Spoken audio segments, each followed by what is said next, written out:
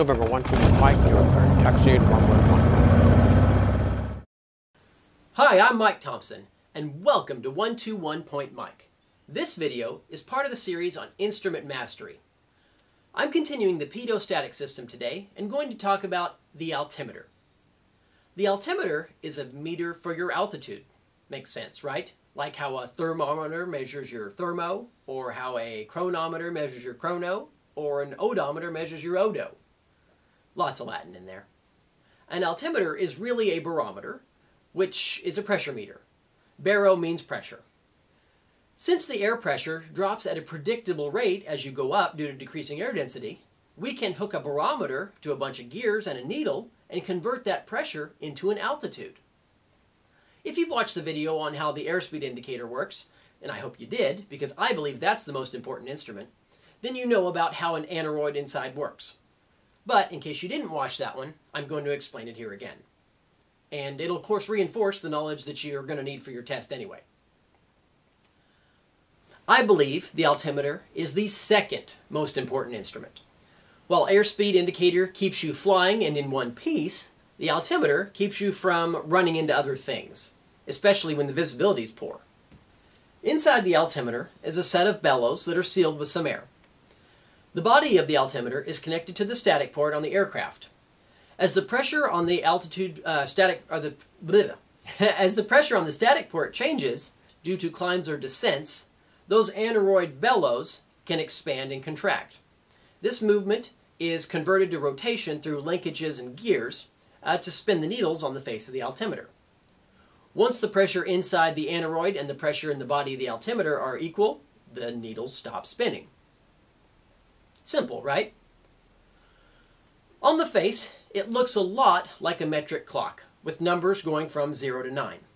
There are usually three heads.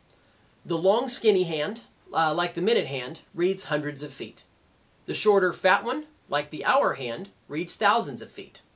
And then there's a long skinny hand with the uh, inverted triangle around the perimeter, and it reads ten thousands.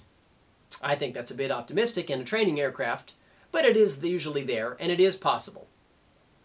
So, by now you might have figured out that the small ticks are 20 feet apart for the hundreds hand.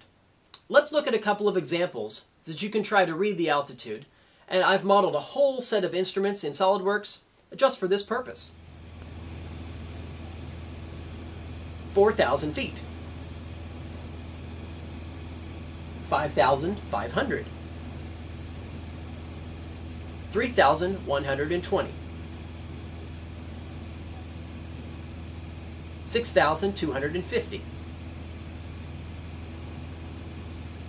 121.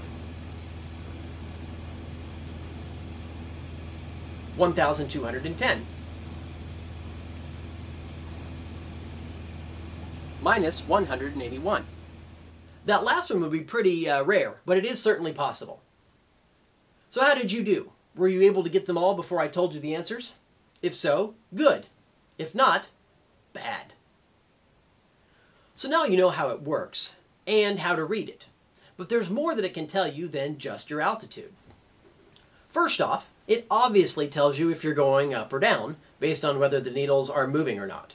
The altimeter is your primary instrument that you'll be able to determine if you're level or not. That's a test question. If the needles aren't moving, uh, you're level, unless there's something wrong. And I'm going to get to that in a second. It can also tell you how quickly you're climbing or descending by watching the rate at which the needles are moving. If you start to level off, the needles will move more slowly. You will use the altimeter to decide when to start leveling off after a climb or a descent. The rule of thumb is to start leveling off at 10% of your vertical speed. Now I'm going to cover the vertical speed indicator in its own video, but I need to make mention of it here now for all this to make sense. So if you're climbing at 800 feet a minute and you want to level off at 5,500 feet, then you're going to start to push forward at 5,420, which is 80 feet before your target altitude, because 80 is 10% of your 800 foot per minute climb. Now, you'll notice that there's a little knob attached to the window with some numbers on it. This is so that you can adjust the altimeter to the current barometric pressure. If you don't, your altitude will be wrong. But how do you know what the current altimeter setting should be? 29.92 inches mercury is standard. 29.92 is standard. 2992 is standard. At sea level and at 15 degrees Celsius or 59 Fahrenheit. That is a test question. From the ATIS, AWOS, or phone number, that's how you're going to get the weather and the barometric pressure. So let's actually uh, call one up and see what it is. Oklahoma City, Will Rogers World Airport.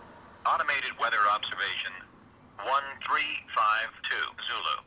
Wind 050 at 05. Visibility 10.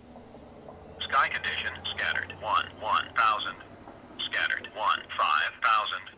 Broken 2 5000. Temperature 1 niner Celsius. Dew point 16 Celsius. Altimeter 3004. Remarks. Density altitude 2000. Okay, so we'll turn altimeter to the current altimeter setting here in the little window. And if it's correct, the altimeter should read the field elevation here when we're sitting on the ground.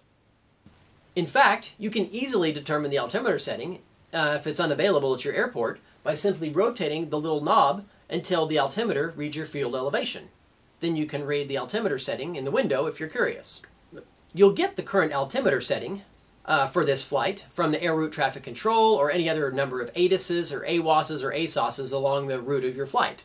And of course, check the ATIS at your destination airport uh, wherever you're before you land so that you have their most recent altimeter setting.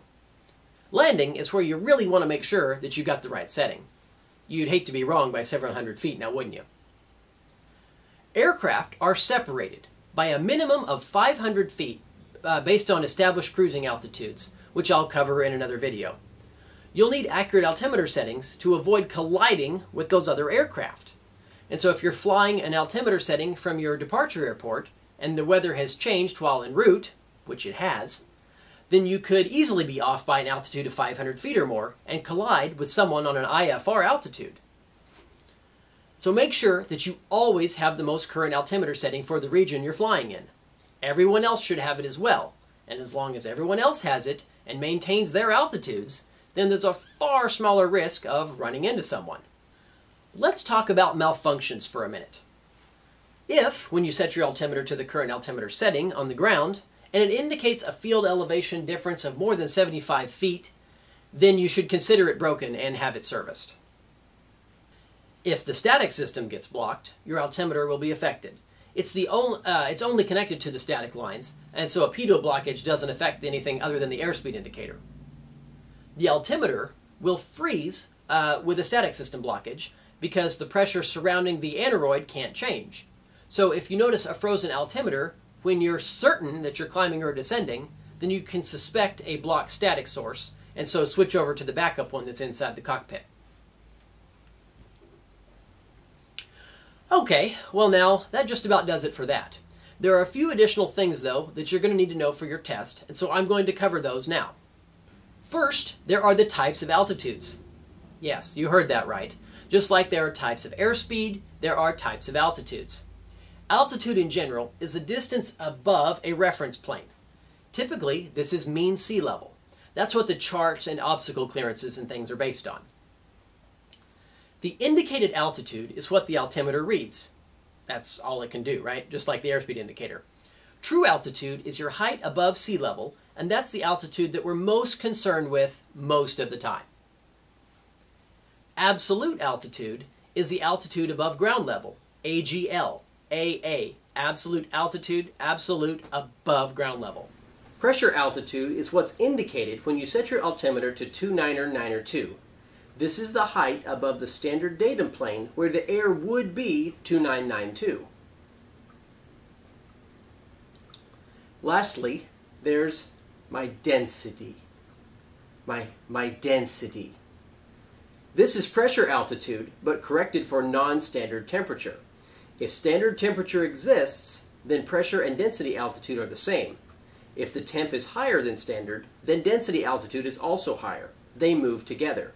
The aircraft performs according to density altitude, and this is why density altitude is important. density altitude numbers will be given in the AWOS, ASOS, or ATIS. You'll use this for flight planning because the aircraft performs according to density altitude. It doesn't matter if the field elevation is at sea level, if the density altitude is at 3,000 feet, then the aircraft will perform worse on takeoff and climb because the airplane feels density altitude, not any other type. This is why they give you the density altitude figures in the ATIS, because you need to plan uh, for your takeoff, roll, and climb figures. Now, on your test, you're going to need to know how to read an altimeter, possible malfunctions, the types of altitudes, all of which we've covered so far.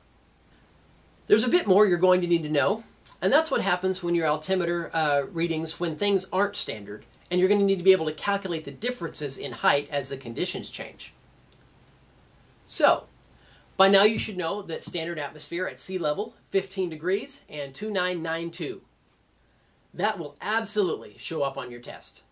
And you're going to be asked how things differ from it when it's not that. So here we go with that. Every thousand feet is about one inch of mercury, at least down where the mortals fly. The atmosphere can and usually does change during a flight, especially a cross country one. So if you were to fly from an area of high pressure to an area of low pressure while maintaining altitude, your aircraft would actually be flying lower than the altimeter would indicate. Go from high to low, look out below. That's an easy way to remember kind of what happens. And if the reverse happens, then the reverse is also true. The same can be said about temperature. If you fly from an area of high to low temperature, then you need to look out below because your true altitude is lower than the altimeter would indicate. Let's show by example what happens when you fly a trip and don't adjust for the local altimeter setting. You'll be asked to do this on a test. So let's say you fly from Addison, Texas at uh, an elevation of 645 feet and an altimeter setting of 29.87. If you don't change your setting upon arriving at Wiley Post in Oklahoma City with an elevation of 1300 and an altimeter of 2954, how high are you really? Okay, so what's your absolute altitude? Well, since we flew from an area of high to low, the altimeter is lower too, isn't it? But by how much? Well, I told you an inch of mercury was 1,000 feet. The altimeter when we left was 2987, and now our altimeter is lower, so we need a negative number. So we'll take 29er.54 minus 29er87 to get minus 0.33. Multiply it by 10, and we're 300 feet lower than where we should be. Well, the pattern altitude PWA uh, 35 right is 1,000 feet AGL, which is 2,300 MSL. But we're coming in 330 feet lower because we didn't adjust our altimeter. So we're actually only 670 feet above the ground instead of the 1,000 feet. What if the altimeter differed by a whole digit and was only 28.87? I'd hope you'd notice the error as you flew beneath the treetops. Now most altimeters cannot compensate for pressures below 28 or above 31. So if your altimeter can't do it, don't fly. Knowing how to calculate these altitude differences is important for a test. Remember that 1 inch of mercury is a 1,000 feet. So what's a standard atmosphere? 29.92 inches mercury at sea level and at 15 degrees Celsius. Test question. You should know that by now. And if I ask you what standard pressure at 1000 elevation would be, you should be able to tell me. 28.92, right? Because it's an inch per thousand feet. High to low, look out below. This saying also applies to temperature and pressure, and we really don't want to crash into the, crash into the ground, so make sure that you have and use the correct altimeter settings along your flight. That's about it for altimeters, and I hope this helps you on your flying journey. Go ahead and subscribe if you haven't already. It's free, and you'll be notified when the next video is out and stay with me on 121 Point Mike.